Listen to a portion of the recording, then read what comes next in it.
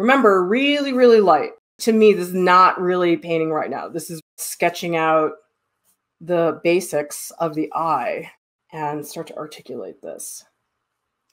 Pupil's pretty small, so I want to be careful. I don't make it too big. If you do something and it's like way too dark, dab your paper towel with a little bit of water and you can just pull it down like that. A really bright highlight here. So I'm just masking it off. I don't want it to get colored in. Get this a little more pronounced. That might be all I want to do until I start putting in some of the more dramatic areas. Maybe something like this, just to like fill in a little bit. We'll go back in and we'll definitely layer a lot more later on. I actually think this is a pretty good blue.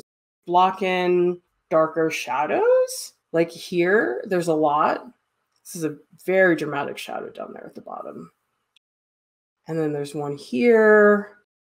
I wish I could be one of those like bold, daring people, but I don't know. Watercolor makes me sort of apprehensive. So I feel like I can't be risky with it. Maybe a little bit of orange coming up here would be good. And there's like sort of a line of pink. Pink over here. That's a little scary looking. That looks like they're bleeding, which I don't like, but we'll fix it. At some point, you got to be careful with that pink. You actually can see the veins. Like that actually is not that common. This is like a little purpley. If you're painting and your painting feels like mushy, that's fine. That that's totally how it should be. Watercolors like that. It, it feels like a slippery fish it's got a mind of its own, wants to do what it wants. And a lot of times has nothing to do with what you want it to do. so that's the problem. The white of the eye is a little tricky. People think that it's supposed to be like white, white, but it never really is. It's always got a little tint of something. Ooh, that's way too dark. Okay, something like that. Yeah, just like a little wash. The white of the page, it can be like too bright, and you don't really want that got to look at what's surrounding the eye. That's what's tricky about it. I'm going to scrub down some of these veins because I think I put them in a little bit too soon. So I'm just making them watery and I'm scrubbing them down. Ew, this got a little bit too like red. So I'm going to see if I can really blob in some like serious color. I'd rather overdo it than underdo it. It's better. Showing some of the texture because actually skin is not that smooth. I use this wet sponge, get the water out. I just do this. It's a lot easier to control that way. So I'm going to use the Payne's Gray and some of the burnt umber. Pretty dry. I'm not going to make it all watery and stuff. People think they have to use watercolor super watery, but you don't.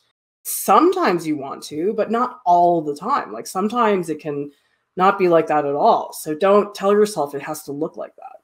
People associate watercolors with looking like that, but they don't always look like that. It's got the edge of the eyeball in there. Fine for things to get worse, for things to feel more frustrating later on. That is just part of the process. It's nothing to do with you guys. I'll do a little bit more shadow. Yep, it's all about layering. French ultramarine with this alizarin crimson. So I'm going to get back in here with the cerulean. And it has this like pattern to it. So let's try to add some of that pattern um, because that, that definitely makes a difference. You don't want to just paint it flat. That's not going to look very good. The lines of the iris, they're sort of like coming outwards. I don't know why. It's, it's always eyes. Like people are so into eyes. Like they're so mesmerizing, I think. Maybe it's because we communicate with our eyes. I'm not sure. It's hard to tell. This whole area, I can add these more watery effects where I'm like letting the paint bleed on purpose. Windows that are being reflected in the back. That's that's the shape that you guys see me painting back here. Ultramarine never lets me down. okay, I'm trying to like beef up down here. Ooh, oh, that looks terrible. Okay, let's let's get rid of that. Okay. we need to work on this pupil in here. because it's starting to look really flat. And so I feel like if I start adding some of these veins, it'll give the eye a lot more variation. Take my paper towel and I'm just going to blot some of this stuff. I feel like in here, some of this is drawing, which is good. Maybe some more shapes going on. Really dark.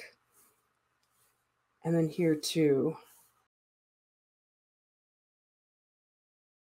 I feel like I didn't do enough on the eyeball. Like the eyeball looks so boring and flat to me. I think this should be a little bit more. Oh, yeah, yeah, that does look a little bit better. Okay. I have no patience for the dry time. I'm like, come on, dry. I'll have multiple paintings going at the same time. You get tired of certain things, and then it's like, ah, I don't want to work on it anymore. So if you do it here, I would not have been able to put down that stroke before. I sort of want to put in there's these freckles down here. Maybe some cobalt blue would be good. Couple strokes coming in like this, because there is like a lot of texture in there. I don't think I got remotely the amount of texture. Pupil sort of disappeared. Really dark, this one spot here. Maybe do a little blending in here. It's almost like a bloodshot eye. Blech. It's like a little terrifying. I am going to smudge some of this out because it's way too harsh. Definitely don't want to leave it that way. There's a little pink here. I don't know. There's like a vein down here. You don't usually get photographs that are close up enough to see the veins. When people paint veins in their paintings, it sometimes just looks strange because it's like too exaggerated. But I think this is going to work actually.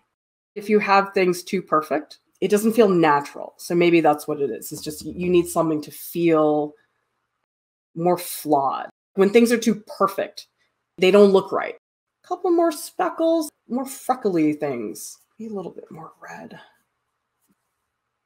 Yeah, I'm feeling better about the red. Let's just really throw down some of these darks because I feel like I'm sort of losing.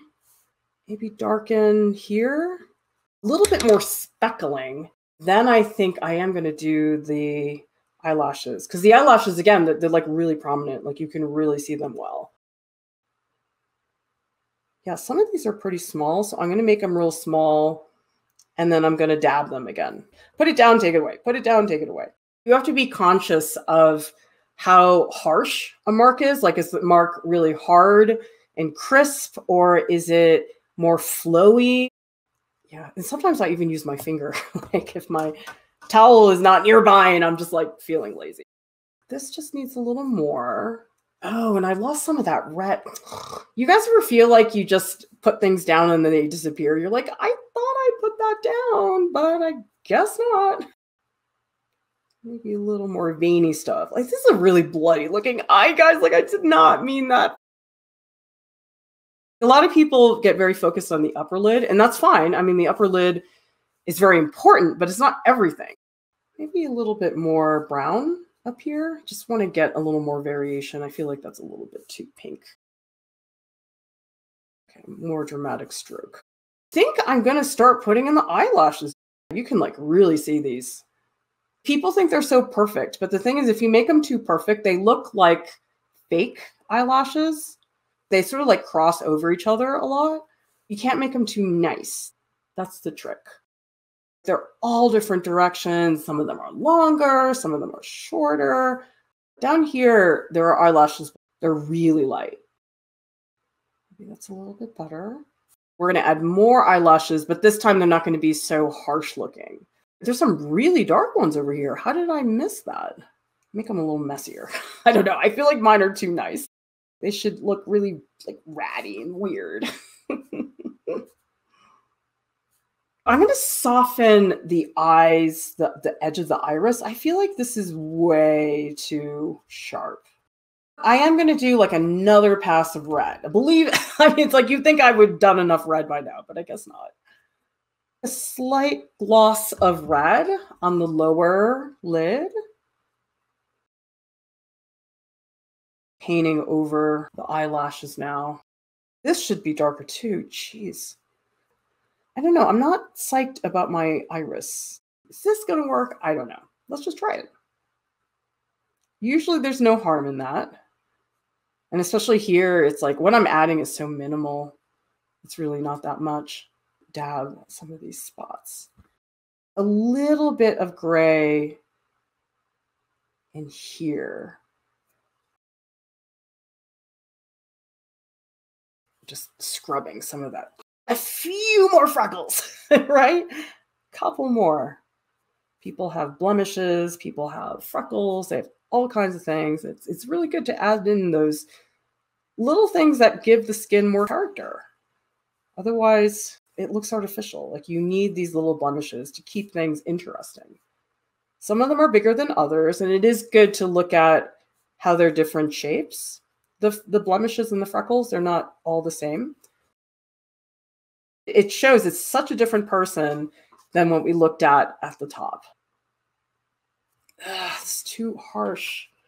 A couple more freckles up here. Let's dab that. Loosen this edge, make it a little bit softer. Sometimes you can do that just with like a wet brush. Same thing here. I'm just like scrubbing the paint, just loosening it up. A little bit too harsh looking. I didn't add enough variation in the like pink tissuey part. Got a little flat. Up there, get that a little softer looking. A couple more freckles. They're important for the portrait. Sometimes when I'm painting things, I just like make up stories for like who the person is and what they're doing. I don't know. It's pretty funny. One more pass on the eyelashes.